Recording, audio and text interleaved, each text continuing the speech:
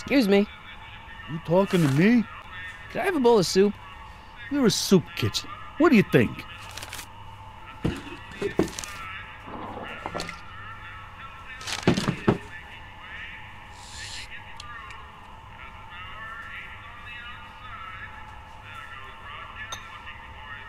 Uh, what kind of soup is this? It, it tastes like.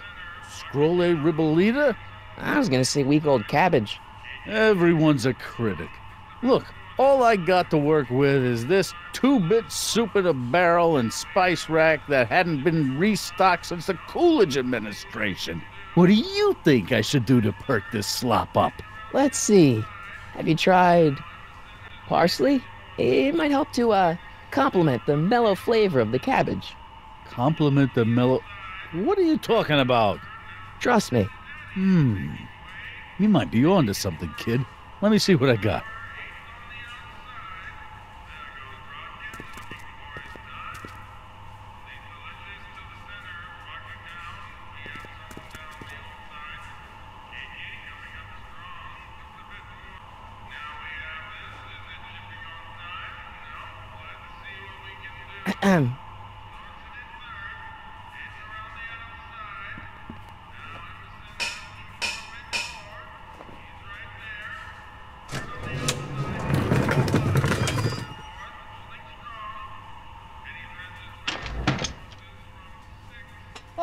Miss Strickland.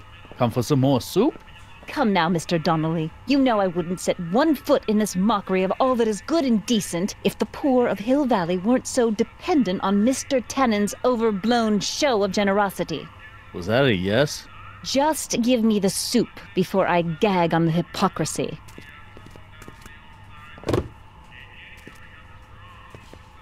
I'll tell the boss you said hello. I'll just bet you will. Edna picked up the barrel of hooch. Now all I have to do is to get it from her somehow.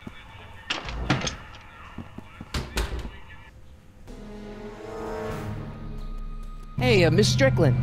Oh, hello, Mr. Corleone. I'm afraid I haven't much time. The meeting of the Stay Sober Society is due to begin very soon. As a matter of fact, I do know a local charity that's running low on soup. Oh? Who? The Stay Sober Society. That's right. They'll soon be gathering at the Brown estate, and we haven't provided refreshments.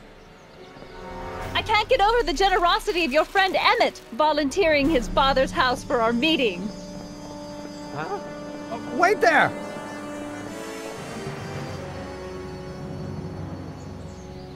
Michael! What in the name of Thomas Alva Edison do you think you're doing? Don't you get it? You need alcohol to run your drill, right? Those bootleggers at the soup kitchen won't let us get our hands on any of their hooch. But we can get Miss Strickland to pick it up for us and deliver it right to your door. No, out of the question. Why? I can't just let strangers invade my parents' house. What do we know about these people? They're sober. It says so right in the name. Well, okay, but a pop needs his peace and quiet at the end of the day. This meeting is sure to be too noisy for him. They'll be quiet. You'll be quiet, right? Oh, yes! I play my tambourine very softly. You hear that? Yes, but. But what? But it's still impossible. Okay, forget the whole thing. We don't have to test your rocket powered drill tonight. We don't? No, I'll take the train back to Washington and I'll tell the folks at the office to give the patent to Dr. McCoy. Wait!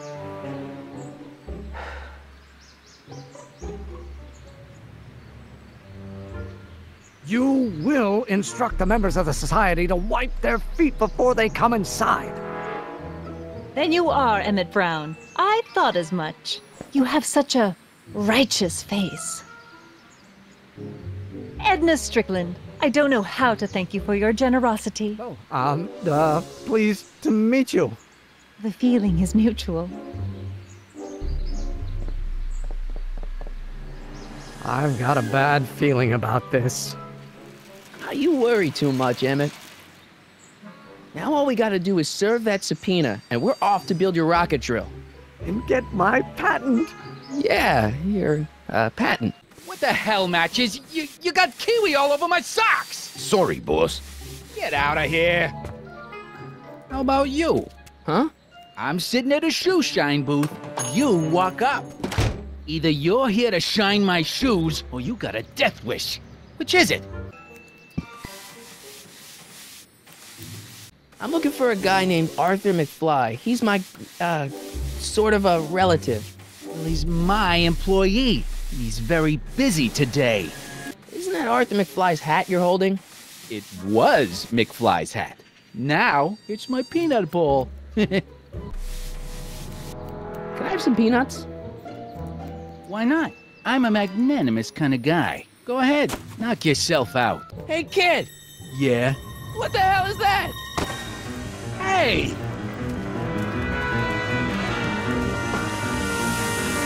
What'd you do?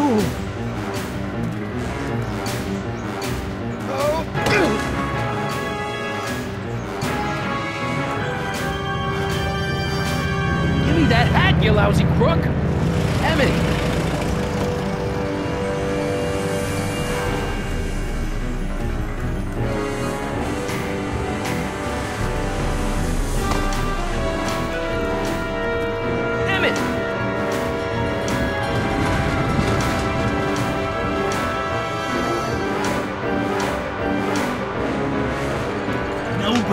Monkey out of Kid Tannen!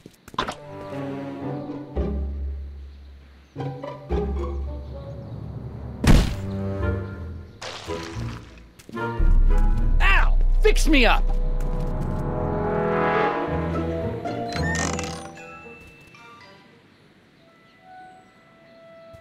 Where'd you learn how to move like that? Sandlot football. They used to call me the streak. Get out! Hey, honey, come here for a sec, boy.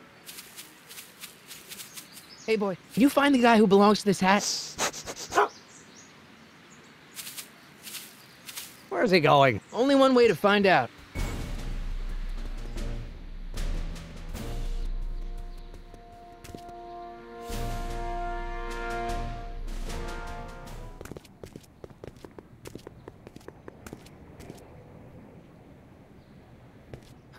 Deja vu.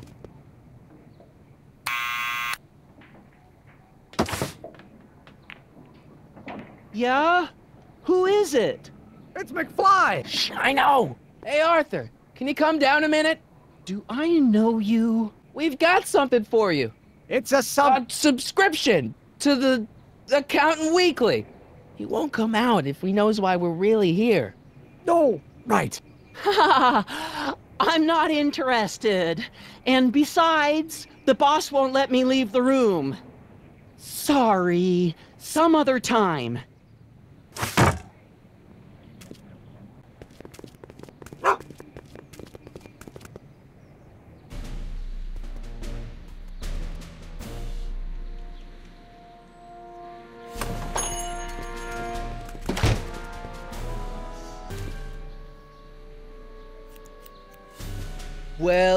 Look who's back! They say rats always return to the scene of the sinking ship. Uh, get 'em, matches!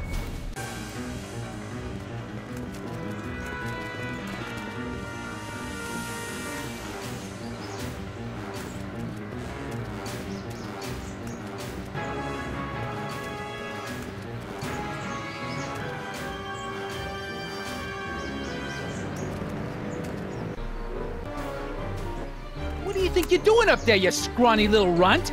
Get down here right now! Einstein, help! Lay off! Get away from me, you crazy mutt! Go, go away, dog! We're busy here. Go on, scram! Hey! Where'd he go? You let him get away, idiot!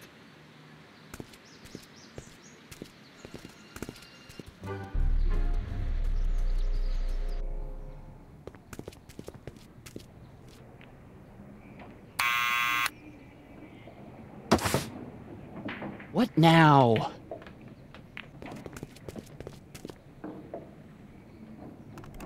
What do you think you're doing up there, you scrawny little runt? Get down here right now! It's Kid. Right away, boss. Ah, where's Kid? Arthur McFly, Yeah? got something for you. Thanks. A subpoena? Ordering you to appear in court and provide evidence in the investigation into. Kid Tannen, take it back. You can't get rid of it, Mr. McFly. Once you've been served, it's your duty to report to the court at the earliest possible time. Failure to do so could lead to a warrant for your arrest. Arrest! But kid'll kill me. Stupid, stupid Artie. Holy cats, what am I gonna do? I suggest you avail yourself to the protection of the court. Oh gosh, oh gosh.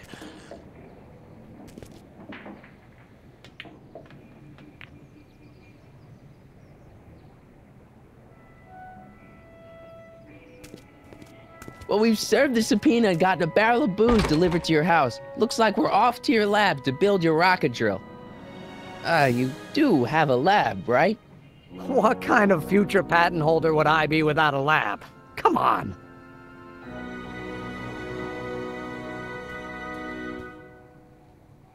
Doc! I'm off to get the rocket drill. Good. Come on, let's go. Time waits for no man.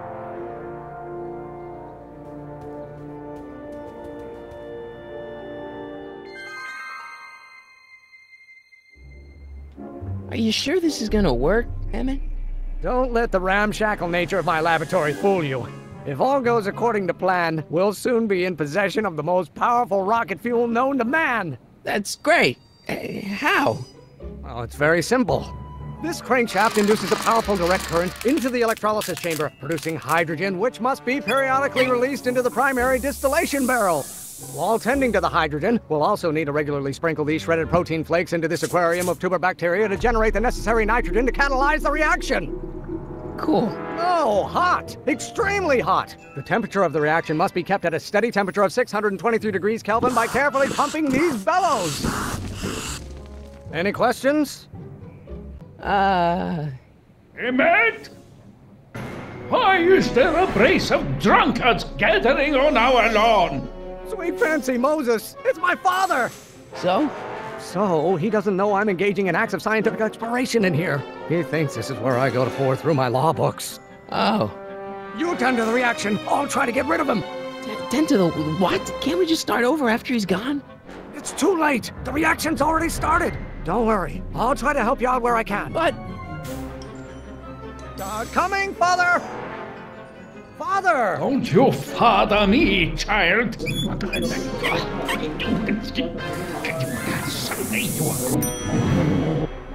Excellent. Now twist the valve there. Great. We're about a quarter of the way home. Emmett, get back here! Oops. I hope someday you have ch- Ah, halfway there. Emmett! Keep up the good work.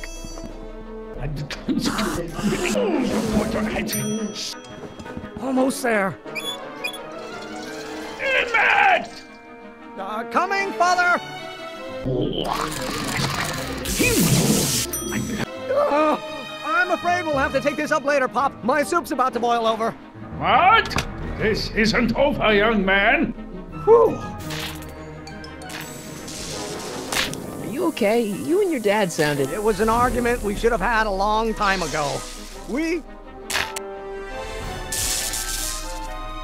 No! What?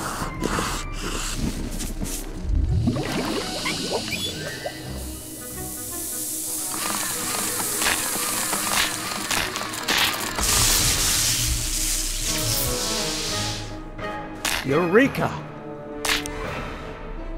Now all we gotta do is fuel up the old rocket power drill, and you and, I can. I can take it and go. But don't you want to test it first? No time. The, uh, the the last train for DC leaves in just a few minutes. All right. You've got to get this baby to the U.S. Patent Office. Uh, exactly. So tell me, Michael, when can I expect to hear back from the Patent Office?